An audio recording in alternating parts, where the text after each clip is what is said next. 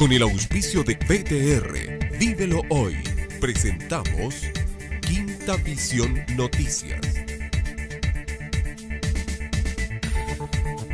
Te necesitamos más que nunca. Si estás en cuarentena, respétala. Esta pandemia solo la superamos entre todos. Ministerio de Salud, Gobierno de Chile. Hay quienes creen que las empresas no tienen rostros, que los resultados los dan los números y que la felicidad es un souvenir. Nosotros creemos en la acogida, que la seguridad es prevención, que las empresas tienen mil rostros de hombres y mujeres que no son un número sino nuestro mayor desafío, nuestro centro.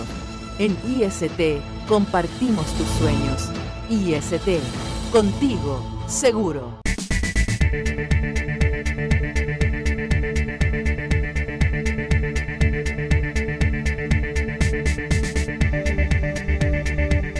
Comienza aquí nuestra edición de resumen informativo, como siempre con lo más relevante ocurrido en los últimos días. Parte del material que de lunes a viernes en edición a estreno a las 20 horas em, les eh, contamos con el trabajo de nuestro departamento de prensa. Acompáñeme, por favor. Mire, tras el considerable aumento de contagios en Viña del Mar y Valparaíso, ambas comunas ingresaron a cuarentena total a partir de este viernes 19 de junio a las 22 horas, sumándose así también a la medida implementada en San Antonio y en las regiones, en las perdón, comunas de eh, Valparaíso y Viña del Mar se establece una cuarentena completa a partir de este día viernes a las 22 horas, como repito. Este fue el anuncio emitido por la autoridad sanitaria que decreta a contar de las 22 horas de este viernes la cuarentena total para las comunas de Viña del Mar y Valparaíso, ambas ciudades que lideran la cantidad de casos de COVID-19 en la región. Hemos señalado que son medidas que nunca se han podido, nunca se han descartado. Hemos señalado sí que es la última que uno quisiera aplicar.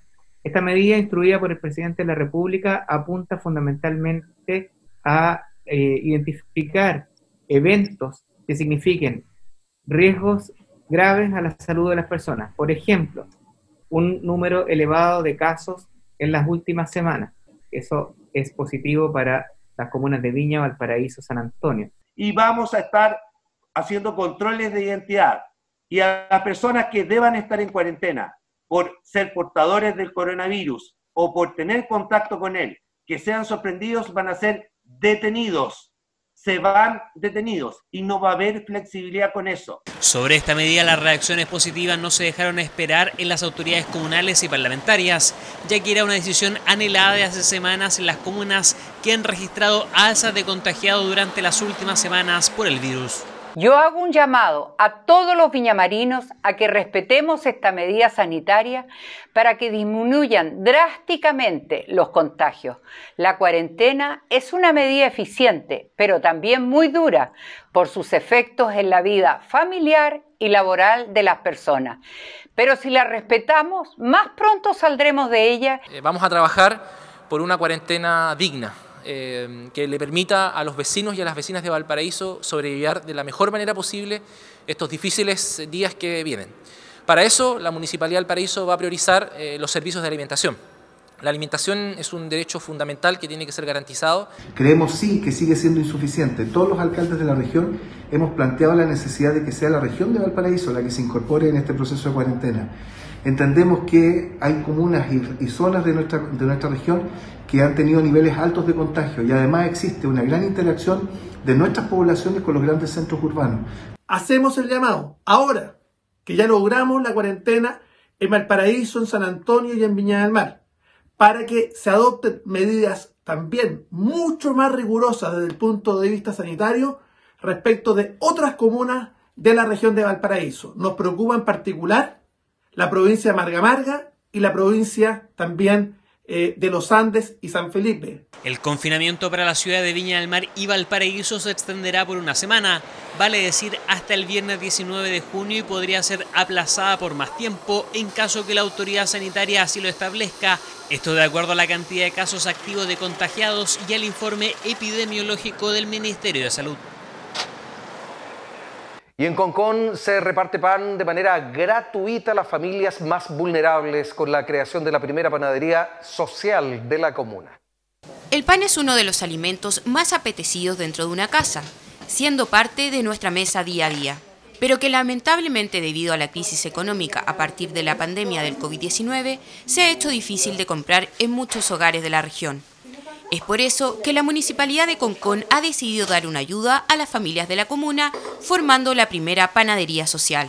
Vimos este proyecto, lo empezamos a trabajar con eh, algunos funcionarios y esta idea eh, hoy día ya se ve a la luz y, estamos muy contentos y orgullosos de que se sea porque eh, tuvo que tener todo un proceso, sobre todo porque el municipio es el que está echando a andar esto y que significa eh, no solo el tema de una ayuda social en el ámbito de llevarle una, bolsa con pan para eh, pasar el, día, sino que además tiene una doble función, que es la absorción de mano de obra. Y en este caso tenemos a 13 eh, manipuladoras de alimentos que además de haber hecho los cursos, los talleres, digamos, que imparte el municipio, eh, hoy día tienen la oportunidad, ¿no es cierto?, de tener un pequeño ingreso, pero además haciendo una gran obra como es esta de ayudar eh, llevando un pan eh, a algunas personas que lo necesitan en la casa.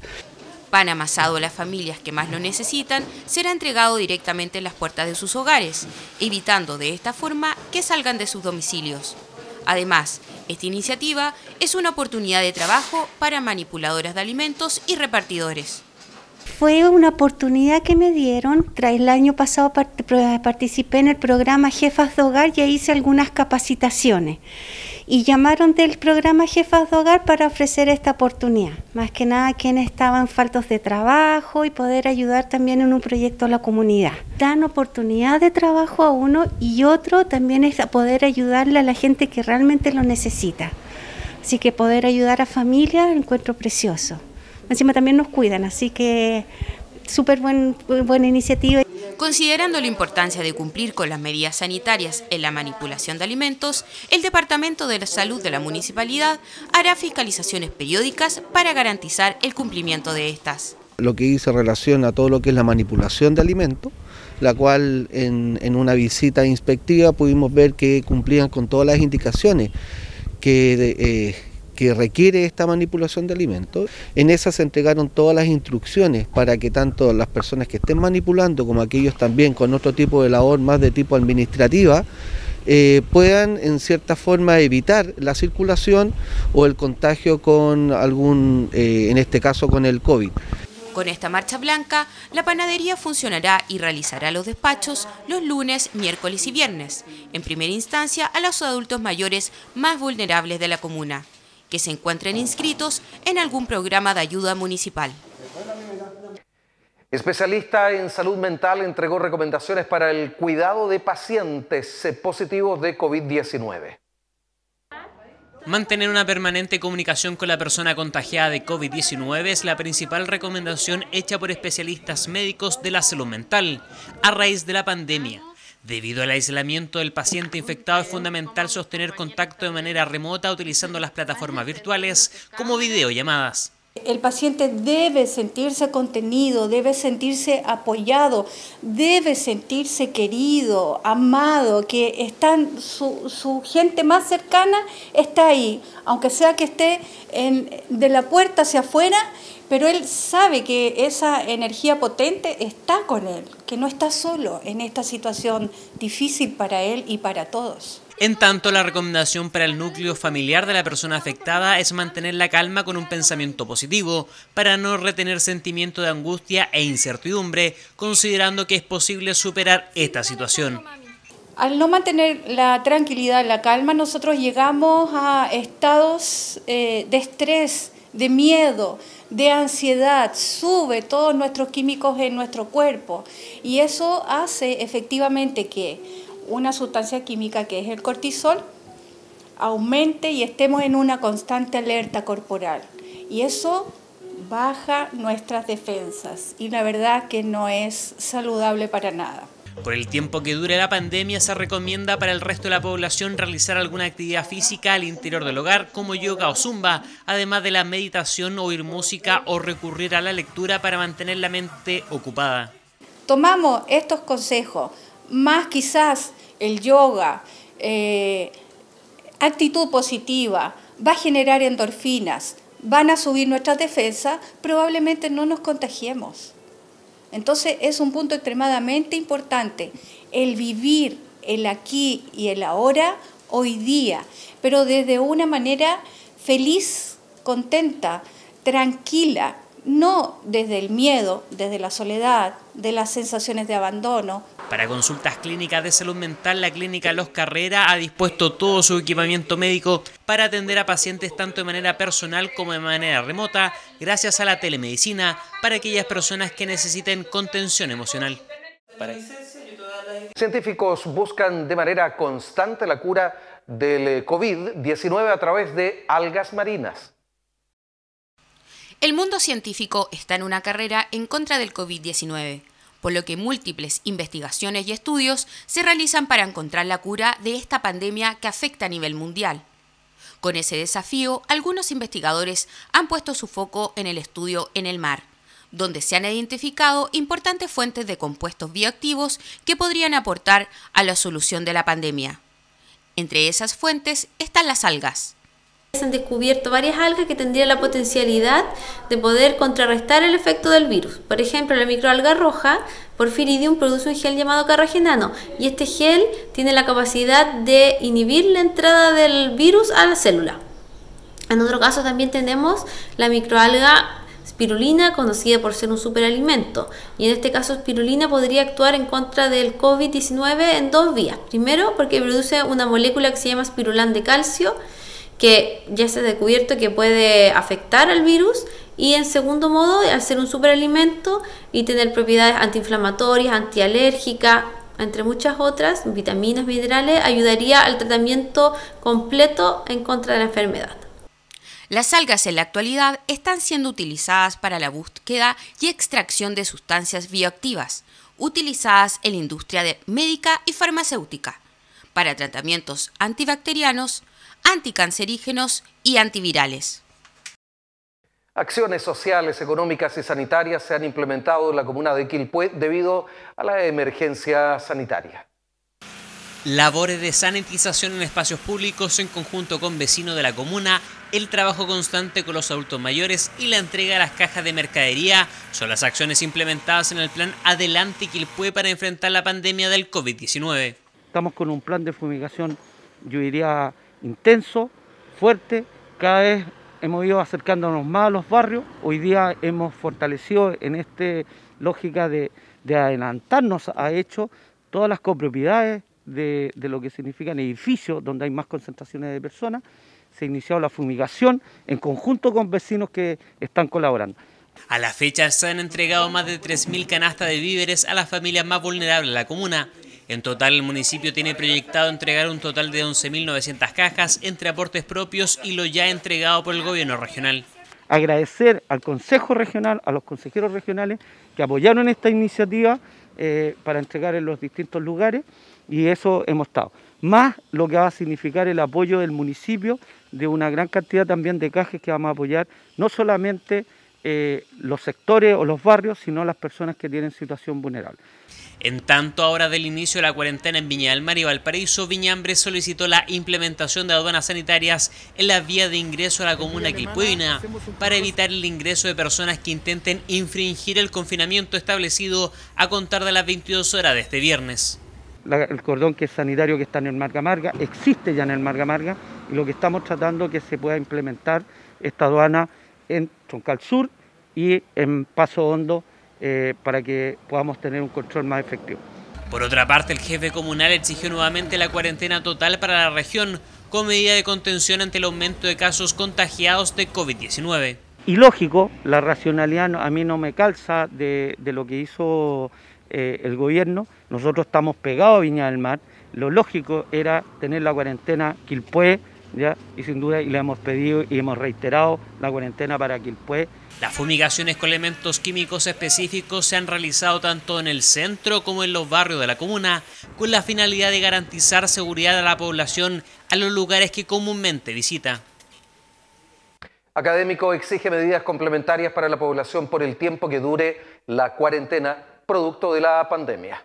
El decreto de cuarentena para Valparaíso Viña del Mar fue muy bien recibido tanto por las autoridades municipales como políticos de la región, incluyendo a distintos científicos y académicos, quienes valoran la medida pero advierten que se deben tomar medidas complementarias por lo que el director del Centro de Diagnóstico e Investigación de Enfermedades Infecciosas de la Escuela de Medicina de la Universidad de Valparaíso, el médico infectólogo Rodrigo Cruz, afirmó que para que la medida sea eficaz es necesario que las autoridades correspondientes adopten una serie de medidas.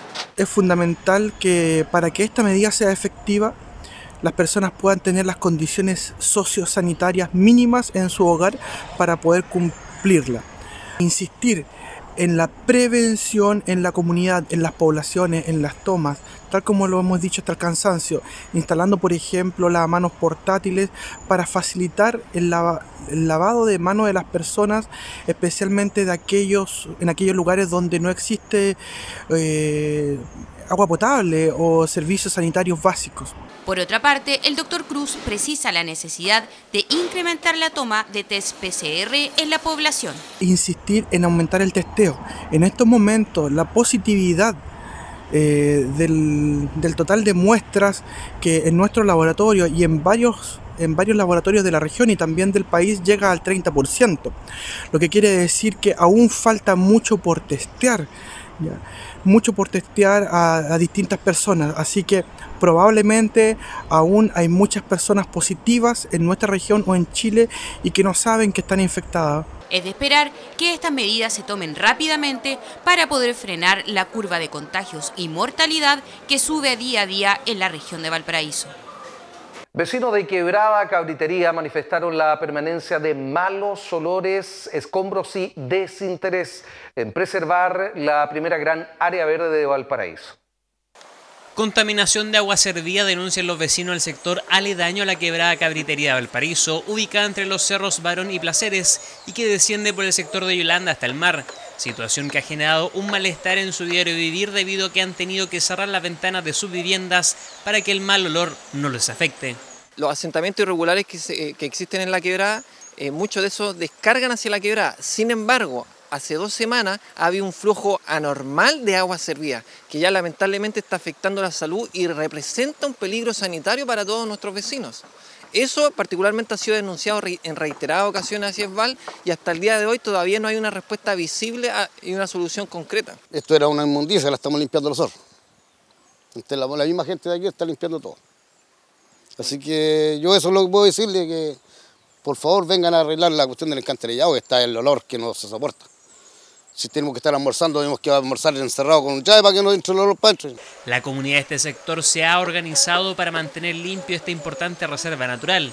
Sin embargo, consideran que sus esfuerzos han sido insuficientes, ya que pese a las labores desinteresadas por los residentes de este lugar, aún hay vecinos que continúan botando todo tipo de desechos. Que nos sigan tirando más basura y cuestiones así, porque ya la gente, no sé, pues viene de arriba, casi de la mitad de la escala, y deja las bolsas de basura por aquí o las mete debajo del puente. Igual es cochina la gente igual, pues no, no se pone tampoco de decir, ah, están limpiando y no sé, pues, poder caminar un poquito más y dejar las cosas más arriba que se la lleve el aseo. En julio del año pasado, la quebrada cabritería fue considerada como área verde tras las modificaciones al plan regulador comunal. Situación que inquieta a la comunidad ya que desde entonces ninguna entidad se ha preocupado por la mantención de este pulmón verde porteño.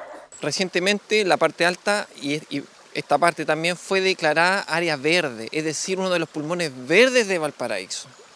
Y este pulmón verde requiere inversión pública, requiere protección, requiere cuidado por parte de los vecinos, la sociedad civil, las instituciones y, claro está, ESVAL también. Tenemos que unir todas las fuerzas, unir todas las voluntades y ponerlas al servicio de la regeneración, cuidado y la protección de nuestras quebradas.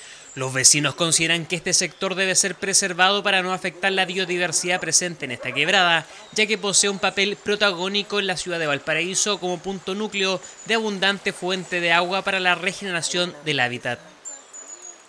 Diputado del Distrito 7, Víctor Torres, uno de los patrocinantes de la ley de la jibia, explicó los motivos relacionados a la extracción de este producto marino. Este lunes 8 de junio se desató una jornada de protestas por parte de los pescadores artesanales en al menos cinco regiones del país, llegando inclusive a enfrentamientos con carabineros.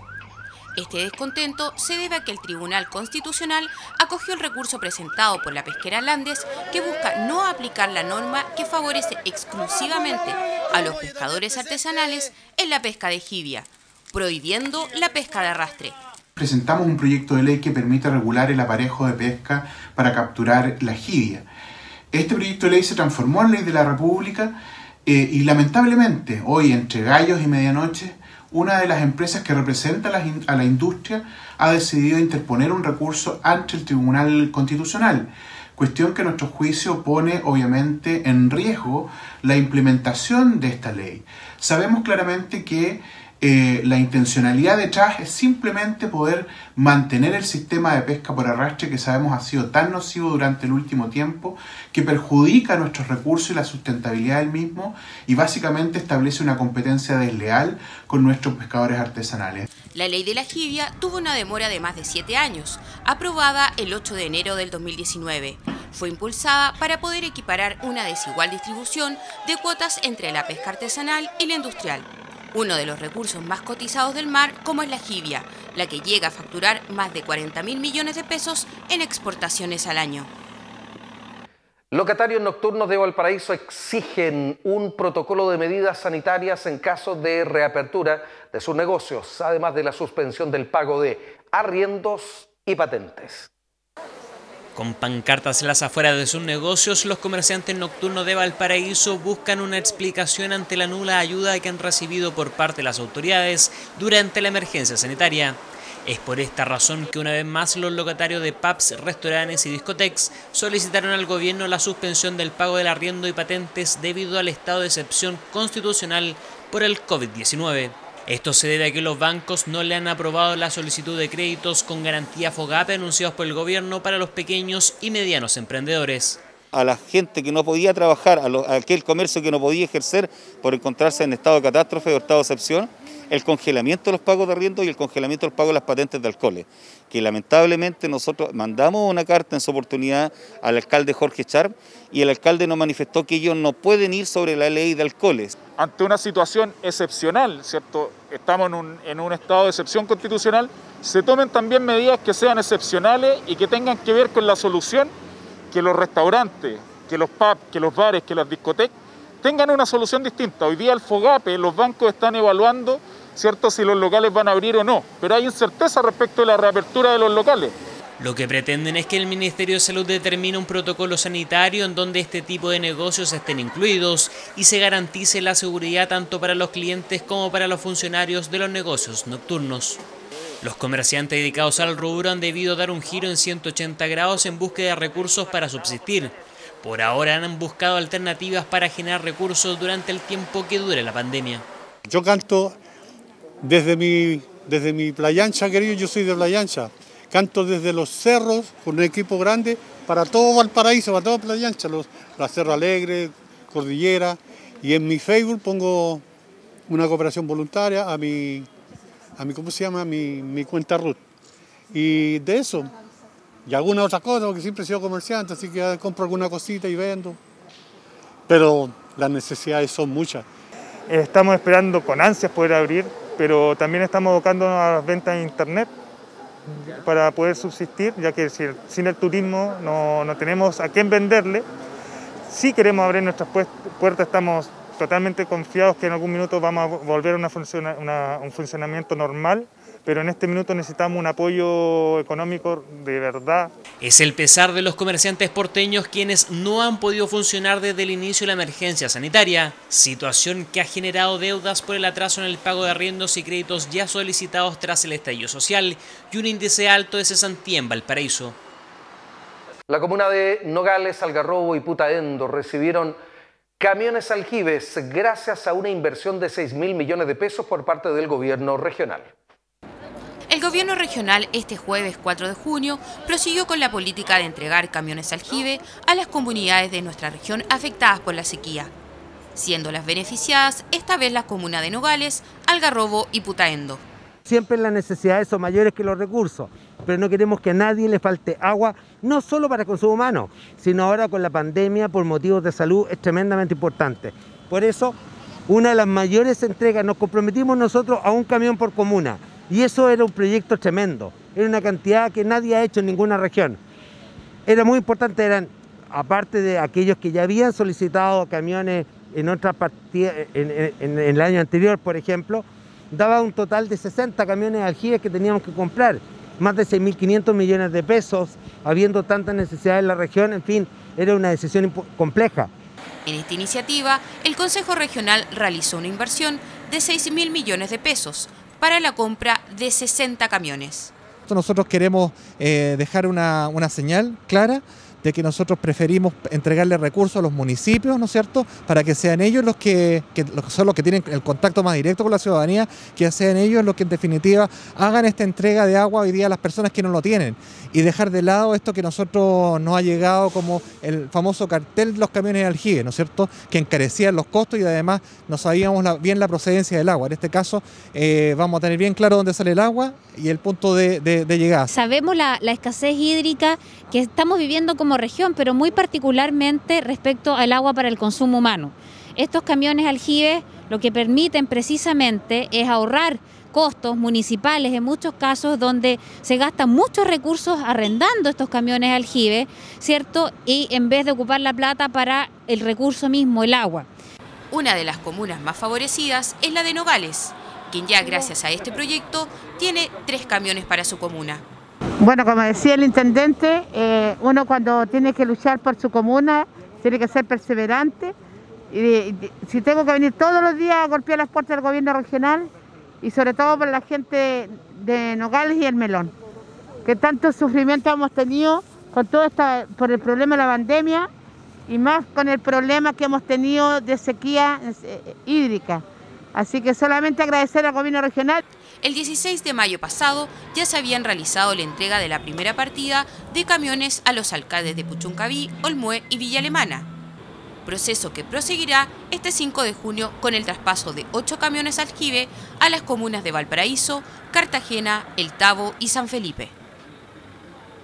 Muy bien, eso es todo en cuanto a esta síntesis informativa a la manera de Quinta Visión Televisión solo al momento de cerrar nuestro trabajo eh, es agradecer la sintonía que ustedes nos entregan y por supuesto invitarles a seguir con nosotros. Con el auspicio de PTR, Vívelo Hoy, hemos presentado Quinta Visión Noticias.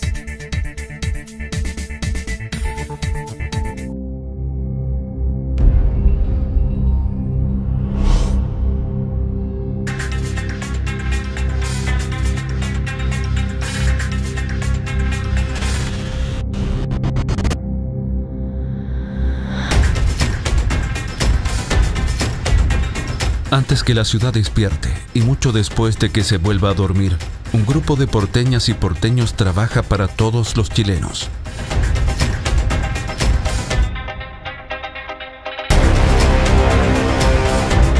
Sin importar el día, el clima ni la contingencia sanitaria que afecta a nuestras regiones y países.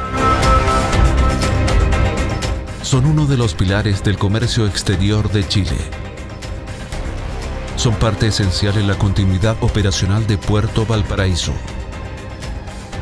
Son el primer eslabón de la cadena de abastecimiento del país. Por eso ha sido tan importante cuidar su seguridad, integridad y salud con medidas preventivas. Trabajadores portuarios, transportistas, funcionarios de los servicios y agencias, supervisores y muchos otros Gracias por su compromiso con Valparaíso y con Chile.